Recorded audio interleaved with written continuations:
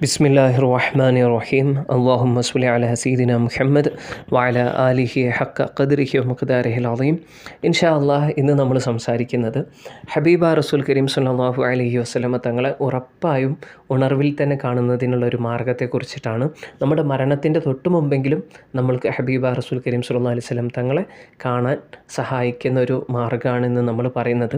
അപ്പോൾ ഇന്ന് നമ്മൾ സംസാരിക്കുന്ന കാര്യം സ്വലാത്തിന്റെ സിറുകളിൽ നിന്നുള്ള അതിമഹത്തായ ഒരു സിറ സിറാണ് സ്വലാത്തിന്റെ ഫായിദകളിൽ നിന്നുള്ള അതിമഹത്തായിട്ടുള്ളൊരു ഫായിദയാണ്. അതുകൊണ്ട് തന്നെ ഒരാളും ഈ ഒരു കാര്യം നഷ്ടപ്പെടുത്താൻ പാടില്ല. നമ്മളിത് ചെയ്യുക പിന്നെ നമുക്ക് അറിയുന്ന ആൾക്കാരോട് ഇത് പറഞ്ഞു കൊടുക്കുകയും ചെയ്യാം. അങ്ങനെ എല്ലാ ആളുകളും എന്ത് ചെയ്യണം? ജീവിതത്തിൽ ഒരു തവണയെങ്കിലും ഇന്ന് നമ്മൾ പറയുന്ന ഈ ഒരു ഫായിദ അവർ ജീവിതത്തിൽ ഒരു തവണയെങ്കിലും എന്ത് ചെയ്യണം? നമ്മളെല്ലാവരും ചെയ്തിട്ടുണ്ടായിരിക്കണം. അപ്പോൾ ഈ ഒരു കാര്യം പറഞ്ഞു തന്നിട്ടുള്ളത് ഷേഖ് മുഹമ്മദുൽ ഖന്ദൂസി തങ്ങളാണ്. ബഹുമാനപ്പെട്ടവരെ കുറിച്ചിട്ട് നമുക്ക് എല്ലാവർക്കും അറിയാവുന്നതാണ്. വലിയ മഹാത്മാവായിരുന്നു. ഹബീബ റസൂൽ കരീം സല്ലല്ലാഹു അലൈഹി വസല്ലം തങ്ങൾ ഒരുപാട് തവണ ഉണർവിൽ തന്നെ കണ്ടിട്ടുണ്ട്. ഹബീബ റസൂൽ കരീം സല്ലല്ലാഹു അലൈഹി വസല്ലം തങ്ങളെ അടുത്തുനിന്ന് ഒരുപാട് സ്വലാത്തുകൾ സ്വീകരിച്ചിട്ടുണ്ട് ഉണർവിൽ തന്നെ.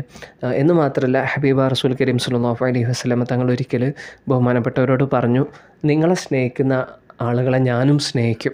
അപ്പോൾ ഈ ഒരു കാര്യം കേട്ടാൽ തന്നെ മതി. എത്രത്തോളം ഹബീബ റസൂൽ കരീം സല്ലല്ലാഹു അലൈഹി സ്വലം തങ്ങൾക്ക് ഇഷ്ടമായിരുന്നു ഷെയ്ഖ് മുഹമ്മദുൽ കന്തൂസി തങ്ങളോട് എന്ന് നമുക്ക് മനസ്സിലാവാൻ.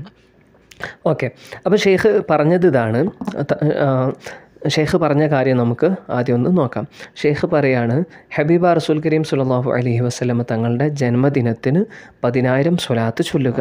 ഈ മഹത്തായ ദിവസം ഇങ്ങനെ ആരെങ്കിലും ചെയ്താൽ മനുഷ്യ ജിന്ന് വർഗങ്ങളുടെ അഭിബാധത്തിന്റെ നന്മകൾ ചൊല്ലിയവന് എഴുതപ്പെടുകയും മരണത്തിന് മുമ്പ് തന്റെ സ്വർഗീയ ഇരിപ്പിടം ദർശിക്കാൻ സാധിക്കുകയും ഇതിനു പുറമെ മരണത്തിന് തൊട്ടു മുമ്പെങ്കിലും ഹബീബ റസൂൽ കരീം സുല്ലാഹു അലഹി വസ്ലമ തങ്ങളെ ഉണർവിൽ തന്നെ കാണാനുള്ള മഹാഭാഗ്യം ലഭിക്കുകയും ചെയ്യും. അപ്പോൾ ഷെയ്ഖ് പറഞ്ഞിട്ടുള്ള കാര്യം ഇതാണ്. ഹബീബ റസൂൽ കരീം സല്ലല്ലാഹു അലഹി വസ്ലമ തങ്ങളുടെ ജന്മദിനത്തിന്റെ അന്ന് പതിനായിരം സ്വലാത്ത് ചൊല്ല അങ്ങനെ ഒരാൾ ചെയ്തു കഴിഞ്ഞാൽ അവർക്ക് ലഭിക്കുന്ന മൂന്ന് നേട്ടങ്ങൾ. ആദ്യത്തേത് മനുഷ്യ ജിന്ന് വർഗങ്ങളുടെ ഇബാദത്തുകൾക്ക് തുല്യമായിട്ടുള്ള പ്രതിഫലം എന്ത് ചെയ്യും? ഈ വ്യക്തിക്ക് രേഖപ്പെടുത്തപ്പെടും. രണ്ടാമത്തത് തന്റെ സ്വർഗീയ സ്ഥാനം. അതായത് സ്വർഗത്തിലെ തന്റെ സ്ഥാനം കണ്ടിട്ടല്ലാതെ ആ മനുഷ്യൻ എന്ത് ചെയ്യില്ല മരണപ്പെടുകയില്ല. മൂന്നാമത്തെ കാര്യം അതാണ് ഏറ്റവും വലുത്. ഹബീബ റസൂൽ കരീം സുല്ലാ അലൈഹി വസല്ലം തങ്ങളെ ഉണർവിൽ കാണാനുള്ള ഭാഗ്യം ലഭിക്കും. ഓക്കെ അപ്പം ഈ ഒരു കാര്യം അതായത് ഹബീബാർ റസൂൽ കരീം സുല്ലാ അലൈഹി വസല്ലം തങ്ങളുടെ ജന്മദിനത്തിന്റെ അന്ന് പതിനായിരം സ്വലാത്ത് ചൊല്ലുക. ഓക്കെ? അപ്പോൾ ഇതിൽ ചില വിഷയങ്ങൾ ഞാൻ പറയട്ടെ. അതിൽ ആദ്യത്തേത് ഷെയ്ഖ് മുഹമ്മദുൽ കന്തൂസി തങ്ങൾ തങ്ങളാണല്ലോ ഈ ഒരു ഫായിദ പറഞ്ഞു തന്നിട്ടുള്ളത്. ബഹുമാനപ്പെട്ടവരുടെ അഭിപ്രായ പ്രകാരം ഹബീബ റസൂൽ കരീം സുല്ലാ അലൈഹി വസല്ലം തങ്ങളുടെ ജന്മദിനം റബിയോൽ അവൽ ഏഴിനാണ് ഇക്കാര്യം പ്രത്യേകം ശ്രദ്ധിക്കുക. കാരണം അവറുകൾ എന്ത് പിന്നെ ഈ ഒരു റബിയോൽ അവൽ ഏഴിനായിരുന്നു പതിനായിരം സ്വലാത്ത് ചൊല്ലിയിരുന്നത്. ഓക്കെ. അപ്പം നമ്മളും എന്ത് ചെയ്യുക? റബി അവൽ ഏഴിന് പതിനായിരം സ്വലാത്ത് ചൊല്ലുക. അതേപോലെ തന്നെ റബി അവൽ പന്ത്രണ്ടിനും നമ്മൾ എന്ത് ചെയ്യുക? പതിനായിരം സ്വലാത്ത് ചൊല്ലുക. ഓക്കെ. അപ്പോൾ ഞാൻ പറഞ്ഞു ഷേഖ് മുഹമ്മദുൽ കന്ദൂസി തങ്ങൾ ഹബീബ റസുൽ കരീം സല്ലാ അലൈഹി വസല്ലം തങ്ങൾ ഉണർവിൽ തന്നെ കാണുന്ന മഹാനായിരുന്നു. ഓക്കെ. അപ്പം ബഹുമാനപ്പെട്ടവരുടെ അഭിപ്രായത്തിന് വലിയ പ്രാധാന്യമുണ്ട് എന്നുള്ളത് നമ്മൾ മനസ്സിലാക്കുക. ഓക്കെ.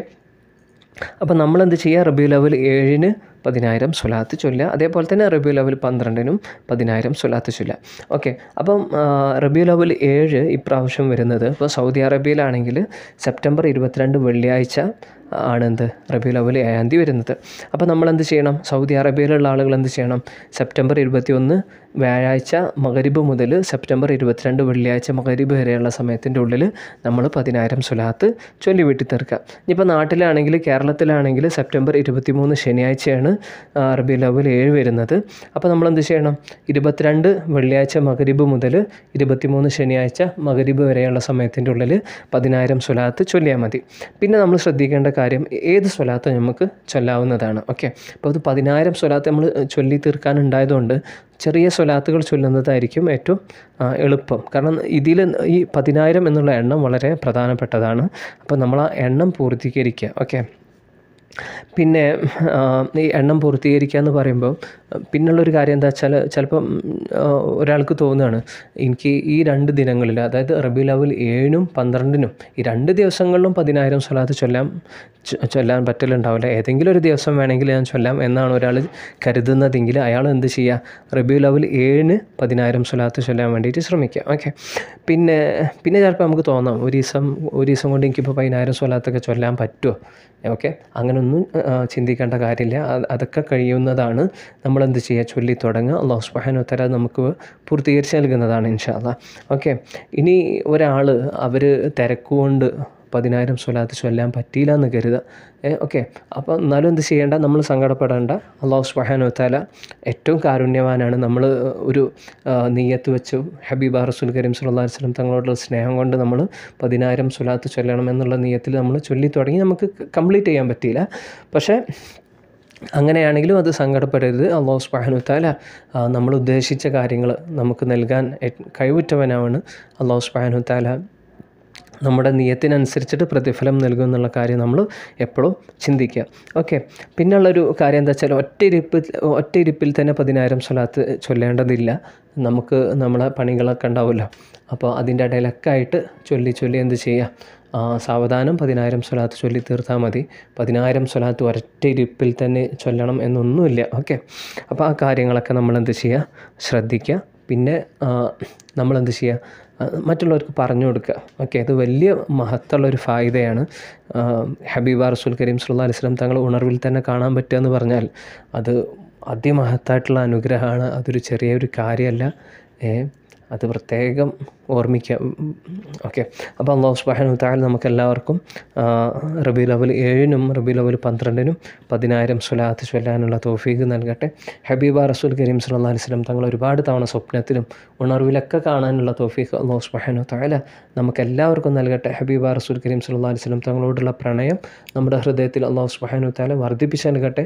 ഓരോ നിമിഷത്തിലും ഹബീബ റസൂല്ലാഹി സുല്ലാ അലൈഹി വസല്ലം തങ്ങളെ ഉണർവിൽ തന്നെ കാണുന്ന അവസ്ഥയിൽ അള്ളാഹു സുബ്ഹാനഹു താല നമ്മളെല്ലാവരും എത്തിക്കട്ടെ. ഹബീബ റസൂലുള്ളാഹി സ്വല്ലല്ലാഹു അലൈഹി വസല്ലം തങ്ങൾ ഏറ്റവും കൂടുതൽ സ്നേഹിക്കുന്ന ആളുകളുടെ കൂട്ടത്തിൽ അള്ളാഹു സുബ്ഹാനഹു താരം നമ്മളെല്ലാവരും ഉൾപ്പെടുത്തട്ടെ.